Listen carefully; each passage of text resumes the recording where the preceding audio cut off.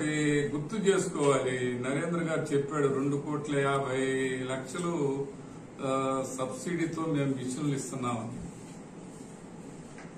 Private డైరీలో నువ్వు fifty పర్సెంటే ఇచ్చావు. హండ్రెడ్ పర్సెంట్ ఫ్రీగా ఇస్తున్నారు. మేమందరం ఇస్తుంది అదే. హండ్రెడ్ పర్సెంట్ మేము ఫ్రీగా రైతులకి పాలు పట్టేదానికి ఇస్తున్నాం. ఎవరి కోసం ఇస్తున్నావు మిషన్? ఎవరి కోసం? నీ పాలు శాంపిల్ నీ పాలు టెస్టింగ్ కోసం నీ పాలు క్వాలిటీ కోసం మీరు ఇస్తున్నారు. ఫిఫ్టీ పర్సెంట్ వాళ్ళ దగ్గర తీసుకోవడం కూడా వాళ్ళ దగ్గర డబ్బులు ఉన్నాయి కాబట్టి మీకు ఇస్తున్నారు. ఇది రైతుల దగ్గర. మేము ఫ్రీగానే ఇస్తున్నాం. ప్రైవేట్ డైరీలో.